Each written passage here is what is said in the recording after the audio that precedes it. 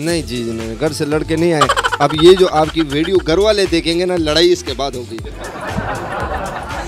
कभी खुशी कभी गम तारा रम पम पम। सर आप ये बताएँ मैरिड हैं? यस अल्हम्दुलिल्लाह सर आप जॉगिंग से डायरेक्ट आ गए यहाँ मैं जिम से डायरेक्ट यहाँ आया हूँ।